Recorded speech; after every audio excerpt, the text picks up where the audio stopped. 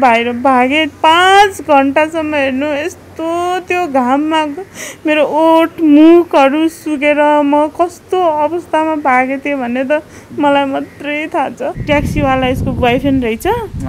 अब हेर्नु त नचिन्नु नजान्नु। उनीहरूले आफै ट्याक्सीसँग बोल भनेपछि लोकेसन दिन्छ भने चाहिँ उसको बोयफ्रेन्ड रहेछ। त्यही बङ्गाली हो त्यहीसँग भाग्नलाई यस्तो गर्यो भने उल्टो आरोप लगायो फेरि त्यस छोरा मान्छेले पनि त्यस्तै गाली त्यो आइमाईले पनि त्यस्तै गाली। कस्तो लाग्थ्यो मतलब आफूलाई त्यो बम्बईमा बेचिएको जस्तो लाग्थ्यो क्या। काम गर्न आयो नि यो नाटक गर्न आयो कि यो बङ्गालीसँग सुत्न आयो कि यो यस्तै हो उस्तै हो भनेर यस्तो नराम्रो शब्दहरू भनि मागेँ। पासो लाएर सल पासो लाएर मर्न पनि लाग्थेँ म। छोरीको याद आएर म मर्न नसकेको। सब मिलेर झ्यालबाट हाम फालेर मारिदेऊ फालिदेऊ केही पनि हामीलाई कानुन लाग्दैन। यो मऱ्यो भने डस्टबिनमा फालिदिन्छौँ भन्ने त्यस्तो त्यस्तो भन्ने। काम कसरी गर्ने के कोही पिटेर खाएर आएका छन् कोही चार पाँच महिना भयो सेलरी नपाएको अफिसले खाइदियो भनेर आएछन् तिनीहरूलाई ठाउँ ठाउँ पाँच छवटा घर जस्तो सारेको सारे गरेछ। त्यो भयो त्यस्तै तनावले गर्दा कोही दिदीबहिनी डिप्रेसनमा परेर पागल जस्तो भएको छन् त्यहाँ। कस्तो अवस्थामा बसेको छन् त्यहाँ मान्छेहरू? तपाईँहरूलाई के थाहा छ? त्यो त मैले देखेर आएर थाहा पाउँछु कि। आफ्नो उद्धारको लागि हार गुहार गरेकी छन्। जसै भए पनि निकाल्नुपर्छ भनेर अहोरात्र खट्ने रोल्पाली सेवा समाजका अध्यक्ष लगायतको टिमलाई के भन्नुहुन्छ तपाईँ? म त उहाँहरूलाई धेरै धेरै हात जोडेर म बाँचेर नेपाल आएँ नेपाल देख्न पाएँ। मैले भनेर उहाँलाई त धेरै धेरै धन्यवाद दिन्छु। एयरपोर्टबाट प्लेनबाट झर्ने बित्तिकै यस्तै गरेर ठोकेको मैले माटो ठोकेको नेपालको माटो। म आयो भनेर। सबै खबर एकै ठाउँमा। हेर्ने खबर मिडिया हाउस प्राइभेट लिमिटेड। कुवेतमा घरेलु कामदारको लागि लिएर गइएकी त्यस पश्चात घरेलु कामदारको रूपमा काम गर्दै गर्दा विभिन्न खालका यातनाहरू पाएर आफूलाई सहयोग गर्न उद्धार गर्न भनेर अन्तर्राष्ट्रिय रोल्पाली सेवा समाजलाई उहाँले हार गुहार गर्नुभएको थियो। त्यही हार गुहारलाई सुनेर रोल्पाली सेवा समाजले यतिखेर कुवेतमा बस्नुहुने राजेन्द्र रसाइलीज्यूसँग कोअर्डिनेट गरेर उक्त चेलीलाई नेपाल फर्काउन सफल भएको छ र उनी चेलीसँग रहेका छौँ। उनलाई कुवेतमा के कस्ता खालका यातनाहरू अथवा के कस्ता कुराहरू भएका थिए र उनी काम गर्न गएकी चेली कसले लिएर गइएको थियो भन्ने खालका कुरा कहानीमा रहेर हामी कुराकानी गर्न लागेका छौँ। नमस्ते स्वागत छ यहाँलाई। नाम भनिदिनुहोस् न निर्मला पुन मगर घर चाहिँ? सुर्खेत। कति भएको थियो तपाईँ कुवेत जानुभएको एक महिना गएको थियो। एक महिनामा तपाईँ नेपाल फर्किनु भयो। कसले लिएर गएको थियो? तपाईँलाई नेपालबाट पक्कै पनि जानुहोस् यस्तो डिमान्ड छ काम घरेलु कामदारको लागि अथवा अन्य कामको लागि डिमान्ड आएको छ भनेर भनेको थियो होला नि कसैले? साथीहरूसँग मिलेर। तपाईँले आफ्नै साथीले चाहिँ पठाइयो? अनि त्यस पश्चात के भयो? काम गर्न कुन कामको लागि भनेर भनेको थियो तपाईँलाई? हाम्रो त भन्नु त हामीलाई घरेलु कामदारमा जाने भन्ने थाहा थियो होइन। मान्छेलाई बाध्यता हुन्छ रहर हुँदैन। अनि पैसा हुँदैन कम्पनीमा जानलाई। अब घरेलु कामदारमा गएपछि दुई चार पैसा बचाउँला के गरौँला भन्ने हिसाबले गइन्छ। तर उहाँ गएपछि त्यो हामीले सोच्यो भन्दा यति फरक भइदिन्छ हेर्नु। यति फरक भइदिन्छ कि? किनकि हामीले कल्पना गर्न सक्दैनौँ कि यहाँ गएर यस्तो हुन्छ भन्ने कुराहरू। अनि नयाँ मान्छे हामीलाई न भाषा जानेका हुन्छौँ न केही कुरा हामीलाई थाहा हुन्छ। केही पनि थाहा हुँदैन हामीलाई एक्कासी आएर अब हाम्रो हातमा पासपोर्ट अब भन्नलाई त जाँदाखेरि यस्तो सेटिङ मिलाएर लैजाँदो रहेछ हेर्नु। अब कोहीलाई दुबई भनेर कोहीलाई अब कता कता भनेर अनि हामीलाई त्यहाँ सोधपुछ गर्दाखेरि त्यो के भन्छन् हामी घरेलु कामदारमा जाने होइन। अनि त्यो के भन्छ भन्दाखेरि त्यो यो फलानु कम्पनीमा जाने। योमा यो ब्याङ्कमा यति हाम्रो डलर छ यति दिनमा हामी घुमेर आउँ जस्तो भिजिट भिसा हुन्छ नि। हो। त्यस्तो गरेर पठाउँदो रहेछ कि? झुट बोल्न झुट बोल्न लगाएर हरेक ठाउँ हामीले झुट बोल्नुपर्छ यो बोर्डिङ पास दिने ठाउँमा झुट बोल्नुपर्छ अनि माथि त्यो अर्को छुट्टै दिन्छ नि के हो त्यो पनि मलाई त्यति थाहा छैन त्यहाँ पनि झुट बोल्नुपर्छ झुट बोलेर उनीहरूले पनि थाहा पाएको हुन्छ यो सेटिङमा घरेलु कामदारमा जान्छ भनेर। तर दलालीसँग मिलेर दलालीको फोनको फोनको कलको मार्फत उनीहरूले काम गरेर सेटिङ गरेर हाम्रोलाई उनीहरूले भित्र पास गराउँछ। एयरपोर्टकै कर्मचारीको मान्छेहरूले एयरपोर्टकै कर्मचारीको मिलेमतो छ यसमा। सबै एयरपोर्टकै कर्मचारीको मिलोमतो छ। मैले थाहा पाएको अनुसार तपाईँले थाहा थियो कि घरेलु कामदार त अब अलाउड छैन अथवा नेपाल सरकारले अनुमति दिएको छैन भन्ने खालको थियो तर हाम्रो बाध्यता हो नि सर बाध्यता। सबै रहरले त जाँदैन नि त। बाध्यताले जान्छ नि त विदेश। बाध्यता थियो सबैलाई। काम गर्न काम गर्न जान्छु भनेर जानुभएको मान्छे। एक्कासी तपाईँलाई रुँदै म त मेरो त अन्तिम अवस्था हुन लागिसक्यो मलाई जसरी भए पनि उद्धार गरिदिनु पऱ्यो भनेर तपाईँले अन्तर्राष्ट्रिय रोलपाली सेवा समाजलाई हार गुहार गर्नुभएको थियो। तपाईँ माथि अथवा तपाईँसँग के त्यस्तो आइपऱ्यो कि तपाईँले त्यसरी हार गुहार गर्नु पऱ्यो अलिकति बताइदिनुहोस् न विस्तृत रूपमा बताइदिन्छु। यस्तो भयो सर। अब मलाई डाइरेक्ट एयरपोर्टबाट घरमा लग्यो होइन? घरमा लगेपछि हामी त नजानेको नचिनेको मान्छे हो नि त त्यो भाषाहरू हामीलाई केही पनि थाहा हुँदैन नि त।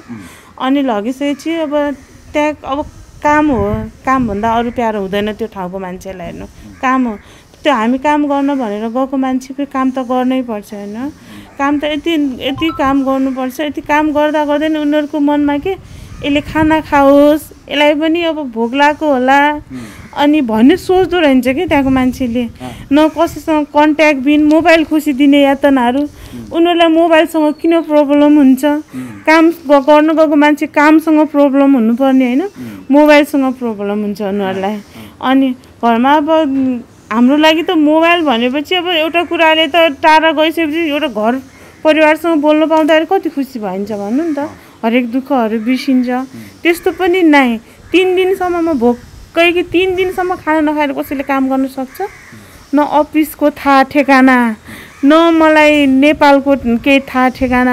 यस्तो म अन्धु पुरै म त जेलभित्रकै जुन दिनदेखि नेपालदेखि विदेश गएँ नि त्यो दिनदेखि मलाई त यस्तो कैदीको जस्तो व्यापार भयो क्या घरमा पनि कैदीको जस्तो मोबाइल खोसिदियो अनि कामभन्दा अरू खानेकुराहरू नदिएपछि त कैदी जस्तो भयो कि नै म? कैदी त भयो होइन? कोइलीलाई पनि खाना दिन्छ। त कैदी भन्दा नि बेकार भयो कि? यस्तो जिन्दगी जिएँ नि मैले। त्यसपछि मलाई यस्तो भयो नि म सोच्थेँ कि म नेपाल मेरो लास जान्छ कि सास जान्छ? केही पनि जाँदैन भन्ने सोचेर म जे पर्छ पर्छ। पुलिसले भेटायो भने नेपाल पठाइदिन्छन् भन्छ नि त होइन बाहिर हिँडेपछि। अनि त्यही हिसाबले म अनि बाहिर भागेँ। पाँच घन्टासम्म हेर्नु यस्तो त्यो घाममा मेरो ओठ मुखहरू सुकेर म कस्तो अवस्थामा भागेको थिएँ भन्ने त मलाई मात्रै थाहा छ। असह्य पीडा भइसकेपछि तपाईँ घरबाट बाहिर निस्किनु दिउँसो? भागेको। बिहान आठ बजे भागेको कुवेतको बिहान आठ बजे। बाटोमा कसैले भेटाएन तपाईँलाई? मलाई कसैले मान त्यो ठाउँमा त मान्छे पनि नदेखिने गाडी मात्रै देखिने। अनि त्यसपछि पनि मैले अफिसलाई फोन हानेँ। तर म त अफिसकै कन्ट्याक्टमा हुन चाहन्थेँ नि त। फोन हानेँ मैले अफिसलाई फोन हानेँ हानिसकेपछि भनेको यहाँबाट तपाईँहरूले रिसिभ गरेर काममा मैले। पहिला देखेको पनि थिएन कि। पछिको अफिस त्यो अफिस त्यो अफिसलाई यति फोन हान्छु हान्छु नउठाउने नि। पछि त्यो अब घरको त्यो साउनीले सायद भागी भनेर खबर दियो होली त्यही भएर उठाएर ए गाली गुलोजको शब्दहरू त सुन्न सक्नुहुन्न कि यति शब्दहरू यस्तो नराम्रो नराम्रो शब्दहरू भनेर गाली गरे अनि त्यसपछि त्यहाँ नेपाली नै थियो कि अन्य विदेशी इन्डियन हो। इन्डियन अँ। यिनीहरूसँग सहकार्य गरेर नेपाली दलालहरू त्यसरी बेच्ने। त्यसपछि अनि त्यसले गाली गरिसकेपछि फेरि नेपाली एजेन्टले फोन गर्यो होइन त्यो फोन पनि नेपालबाट यस्तो हुँदो रहेछ कि त्यो एउटै मेरो मोबाइलमा कुवेतीले अफिसले दलालीले फोन गर्न मिल्दो रहेछ नि त। मलाई त्यो पनि थाहा थिएन अनि कुरा गरेर। त अब कहाँ छिस् भन्छ न मलाई थाहा भएको भयो यस्तो ठाउँ छु भन्ने होइन? केही पनि थाहा थिएन मलाई अनि कोही ट्याक्सी रोकेर अफिस जा भन्छन्। अब त्यो पनि मलाई थाहा छैन हेर्नु ट्याक्सी रोक्ने यताउता भन्ने पनि थाहा छैन। अनि त्यहाँ चाहिँ एउटा ट्याक्सीलाई हात दिएँ हात दिइसकेपछि अनि आफै उनीहरूले भनेर त्यो ट्याक्सीवालालाई फोन दिएँ हामी लोकेसन कहाँ छ भन्ने पत्ता लगाउँछौँ भने चाहिँ त्यो ट्याक्सीवालालाई फोन दिएँ। त्यो ट्याक्सीवालासँग तिनीहरूले के के कुरा गर्थ्यो मलाई त्यो पनि थाहा छैन। ट्याक्सीवाला भागिहाल्यो। अनि त्यसपछि त मलाई के आरोप लगायो भने चाहिँ यो ट्याक्सीवाला यसको बोयफ्रेन्ड रहेछ।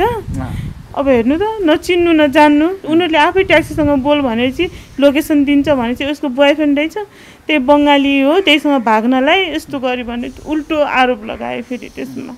त्यस्तो त्यस्तोहरू नराम्रो गाली गुलिज यातना त्यसपछि साउले ल भेटायो साउले भेटाएर घर लग्यो। घर लगेपछि फेरि राति नौ दस बजेसम्म नानी टप काम लदा छ लदा छ लदा छ खानेकुराहरू एउटा सोधेन। त्यसपछि हामी राति चाहिँ दस बजेतिर अफिस ल्यायो। अफिस ल्याइसकेपछि म तिन दिन चार दिनसम्म खाना नखाएको मान्छे म। यस्तरी उभिन नसकेर बसेकोलाई पनि साली कुटिया उठ उठ अनि नेपाली कचरा रन्डी यस्तो उस्तो यति गाली पुरै छोडिदिनु त्यो गालीको शब्दहरू त। यस्तो छोरा मान्छेले पनि त्यस्तै गाली त्यो आइमाईले पनि त्यस्तै गाली। कस्तो लाग्थ्यो मतलब आफूलाई त्यो बम्बईमा बेचिएको जस्तो लाग्थ्यो क्या। आफूलाई त्यस्तो लाग्थ्यो त्यहाँदेखि मलाई यति डर लाग्यो यति डर लाग्यो होइन। अब अफिसमा लगेपछि अरू नेपाली दिदीबहिनी पनि रहेछन् मलाई थाहा थिएन। मलाई एक्लै लाग्यो एक्लै लाग्यो मोबाइल खोजिदियो।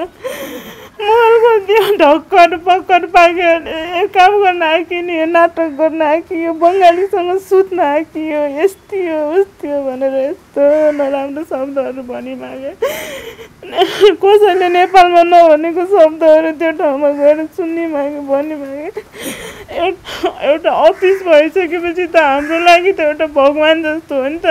दुःख पाएपछि अफिसले सहायता गर्ला हेर्ला भन्ने ठाउँमा अफिसले नै त्यति यातना दिने त्यति यातना दिने। यसलाई झ्या म झ्या मर्छु झ्यालबाट हाम फालेर भने सब मिलेर यसलाई झ्यालबाट हाम फालेर मारिदेऊ फालिदेऊ केही पनि हामीलाई कानुन लाग्दैन। यो मऱ्यो भने डस्टबिनमा फालिदिन्छौँ भन्ने त्यस्तो त्यस्तो भन्ने। अनि त्यसपछि तीबाटै एकजना ढाई तिन लाख रुपियाँ तिरेर गएको बहिनी हुनुहुँदो रहेछ रोल्पाको होइन? त्यहाँको गाउँको दुई तिनजना बहिनीहरू थियो। त्यो बहिनीहरूको मोबाइलमा के भन्छ नै यस्तो यस्तो त्यो भिडियो पनि हेऱ्यौँ। उहाँहरूको यस्तो इन्टरभ्यू मैले गरेको जस्तै। अनि त्यसपछि के भन्छ नै त्यो उहाँले कुरा गर्नुभयो कि हामी तपाईँहरू आउनु चाहनुहुन्छ भने दुई तिन दिनमा उद्धार गर्छौँ भन्नुभयो। अनि भनेपछि अब उद्धार गर्छौँ भने हामी त जान चाहन्छौँ नि जसरी भने नेपाल जान चाहन्छौँ। नेपालमै दुःख सुख गरौँला त्यो ठाउँ त हेर्नु कुकुरको इज्जत होला हाम्रो इज्जत छैन कि हामी कुकुर भन्दा पनि तल्लो गएको हुँदो रहेछ घरेलु कामदारमा गएको दिदीबहिनीहरूलाई त्यति यातना त्यति टर्चर हुँदो रहेछ। त्यही भएर अनि कुरा मैले गरेँ। मैले गरिसकेपछि यहाँ दाइहरूलाई फोकस गरेँ। सबलाई भने सबलाई भनिसकेपछि त्यो रसाइली दाइ र त्यो म्याडम फेरि फ्रेन्ड रहेछन् हेर्नु। पहिल्यैदेखिको। त्यो म जो मलाई राखेको एजेन्ट थियो नि त्यहाँ इन त्यहाँ कुवेतमा त्यो र त्यो दाइ फेरि फ्रेन्ड रहेछन्। त्यो त मेरो साथी हो त्यो मेरो दोस्त हो। त झुट बोल्ने यस्ती उस्ती। त्यो त्यसको घरमा म जान्छु खान्छु त्यसको प्रोग्राममा कतिचोटि गएको छु। त्यो मेरो घरमा कतिचोटि आएको छ। त्यो भैयाले त मेरो हातको भुत्ला पनि निकाल्न सक्दैन अनि त्यो मेरो फ्रेन्ड हो भनी है। अब के भन्थ्यो अब त्यसले झुट बोलेको हो कि साँचो बोलेको त्यो मलाई थाहा छैन। भनेपछि मलाई आशा मरिसक्यो। यिनीहरू त मिलेको रहेछन्। अब मलाई के निकाल्ला र अनि मेरो कुराहरू सबै गलत हुन्छ। सही कहिले हुँदैन भन्ने सोचेको थिएँ। अनि एक्कासी फेरि मलाई त उता छुट्टै कसकोमा लगिदिन्छु उहीँ पिट्छु भन्थेँ। नेपाल आउँछु भन्ने नि मलाई थाहा थिएन। अनि तपाईँ यसरी बाँचेर नेपाल फर्किन्छु भन्ने आश पनि गर्नुभएको थिएन। गरेको थिएन मैले अरू दिदीबहिनी पनि छ त्यस्तै कुबेतीले पिटेर आएको। अनि अब काम कसरी गर्ने के कोही पिटेर खाएर आएका छन् कोही चार पाँच महिना भयो सेलरी नपाएको अफिसले खाइदियो भनेर आएछन् तिनीहरूलाई ठाउँ ठाउँ पाँच छवटा घर जस्तो सारेको सारे गरेछ। त्यो भयो त्यस्तै तनावले गर्दा कोही दिदीबहिनी डिप्रेसनमा परेर पागल जस्तो भएको छन् त्यहाँ। कस्तो अवस्थामा बसेको छन् त्यहाँ मान्छेहरू? तपाईँहरूलाई के थाहा छ? त्यो त मैले देखेर आएर थाहा पाउँछु कि। कस्तो हुँदो रहेछ विदेश भन्ने कुराहरू। त्यही भएर कोही दिदीबहिनी पनि नजाउन् घरेलु कामदारमा सक्दो बरु रोक्ने प्रयास गरिदिनु होला। म त यति भन्छु। राम्रो हुने दिदीबहिनीलाई त राम्रै छ राम्रैसँग आउनु होइन? दुःख पाउने दिदीबहिनीहरूले जब दुःख पाउँछ नि तब थाहा हुन्छ कि? कस्तो हुन्छ भन्ने कुराहरू। अन्तिममा गएर तपाईँले अन्तर्राष्ट्रिय रोलपाली सेवा समाजले उता कुवेतमा कोर्डिनेट गरेर निकाल्नुभयो। र त्यसो गर्दै गर्दाखेरि तपाईँले अन्तिममा तपाईँ नेपाल फर्किँदै गर्दाखेरि पनि अफिसले अथवा एजेन्टहरूले केही दबाब दिए केही भने भनेन? नै भने छैन। अहिलेसम्म त भने छैन। तपाईँले नेपालको एजेन्टको नाम साथी भन्नुभयो तर उसको नाम खुलाउन चाहनु भएन। वास्तवमा किन? पनि दिदीबहिनीहरू छन्। भोलि उनीहरूलाई पनि अप्ठ्यारो होला। मैले गर्दाखेरि अनि दलालीले त्यो दलालहरूको मानव तस्करको जालोभित्र को को संलग्न छन्? ती व्यक्तिहरूको नाम भने मात्रै त यो तपाईँहरू यस्ता चेलीहरू बेचिनबाट त्यस दुःख दिन यातना पाउनबाट जोगिन्छ नि। तर तपाईँ दिदीबहिनीहरू पनि छन् त्यस्तै। अनि त्यही भएर मैले भनेपछि भोलि उनीहरूलाई पनि अप्ठ्यारो पर्ला। राम्रो भएको दिदीबहिनीहरूलाई त्यही भएर पनि मैले नभनेको।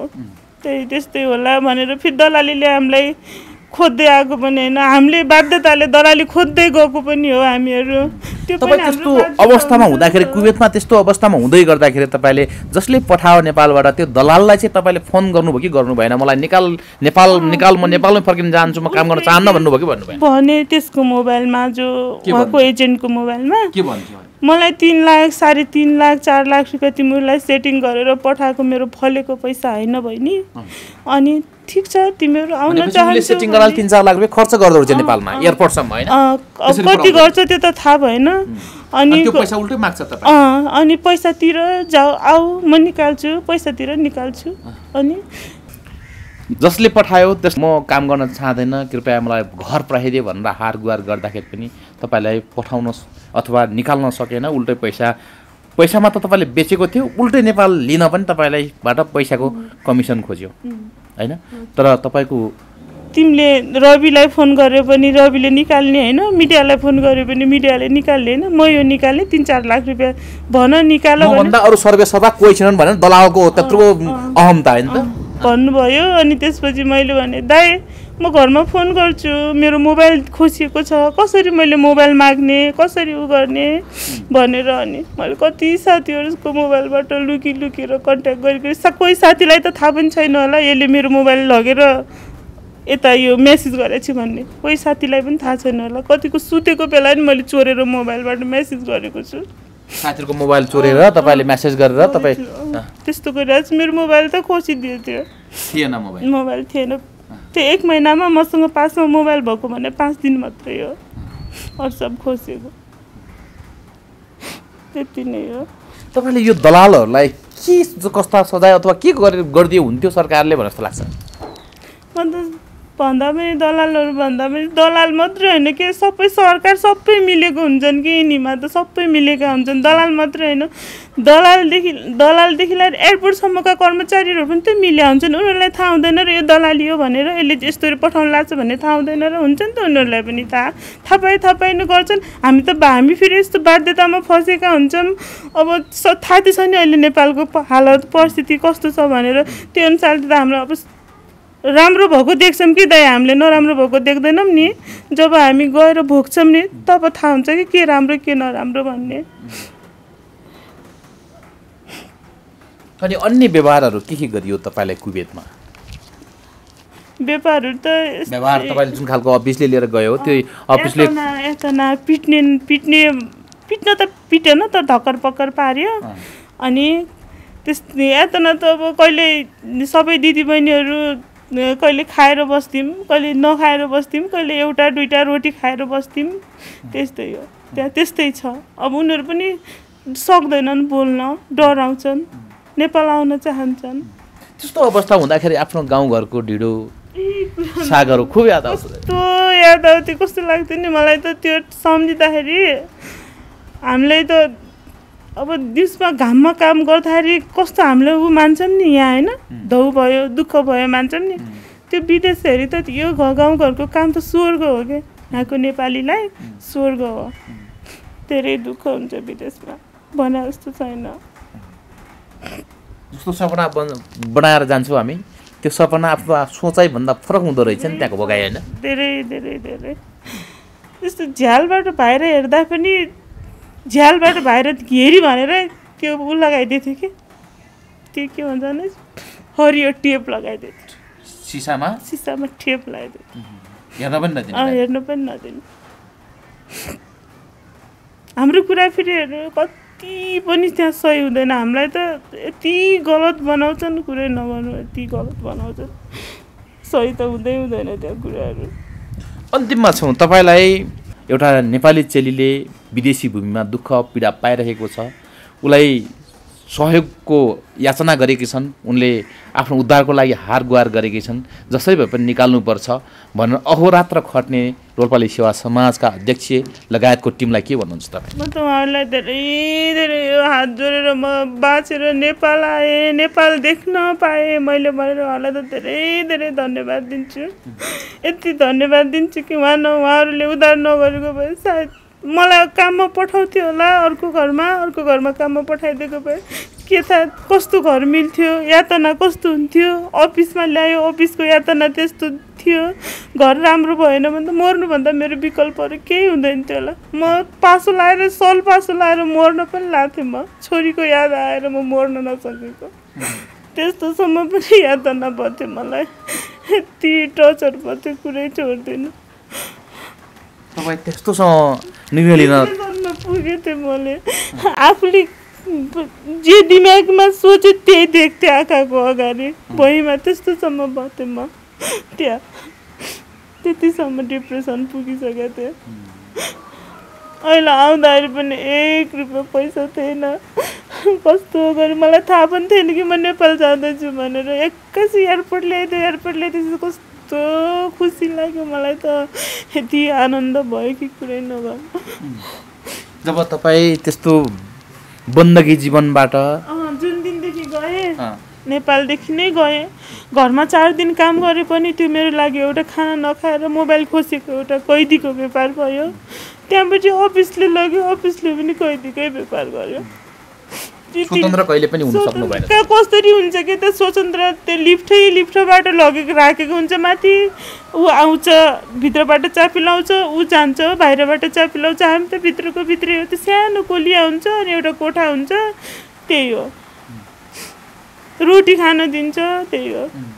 त्यस्तो नरकीय जीवनबाट तपाईँ आफ्नो देशमा पाइला टेक्दै गर्दाखेरि तपाईँलाई पहिलो अनुभव कस्तो हुँदो रहेछ? ए यति खुसी भएको थियो यति खुसी भएको थियो कुरै नगर्नु। खुसी भएर म त पहिल्यैचोटि एयरपोर्टबाट प्लेनबाट झर्ने बित्तिकै यस्तै गरेर ढोगेको मैले माटो ठोकेको नेपालको माटो। म आयो भनेर खुसी थिएँ। बिमारी पनि थिएँ धेरै धेरै रुँदा रुँदा सोच्दा सोच्दा दिमागले काम नगरेर अझै पनि शरीरहरू त्यस्तो मनमा डर कि धेरै डर धेरै डर पसेर पनि जतिखेर पनि झस्किरहन्छु कि डरले गर्दाखेरि? त्यो कुवेतको मार बसेको त्यो डरले गर्दाखेरि अझै पनि झस्की झस्की यातना। पाउनुभयो त्यो। यातनाको असर अझै पनि छ अझ- अझै छ। अब अन्तिममा छौँ। एक शब्दमा भन्नु होला एकदम सठिकमा भनिदिनु होला। तपाईँ नेपाल आइसक्नुभयो। तपाईँलाई उद्धार गर्दै भन्दा पनि दलालले कुनै अ, वास्ताई गरेन उल्टै पैसा माग्यो। तपाईँले यदि तपाईँले त्यो दलाललाई भेट्नुभयो भने के गर्नुहुन्छ?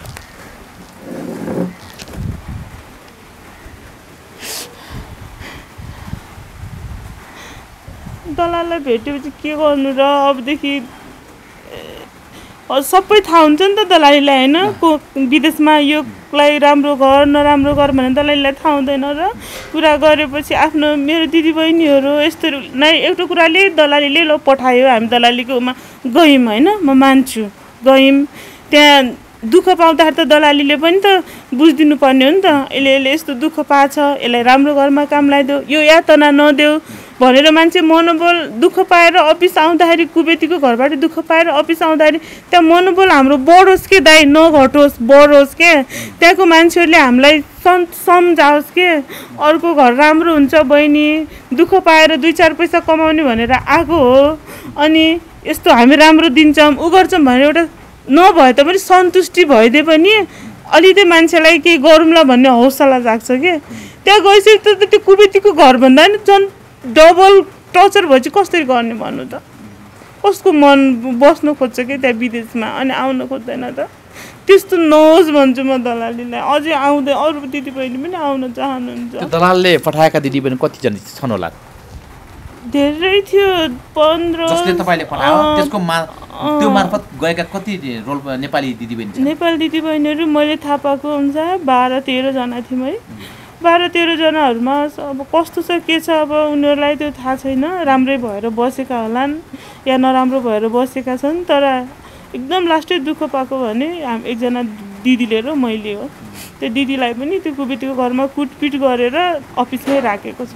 अहिले केही पनि गरेको छैन त्यसलाई। उहाँ आउन चाहनुहुन्छ एकदम। एकदम आउन चाहनुहुन्छ। हुन्छ।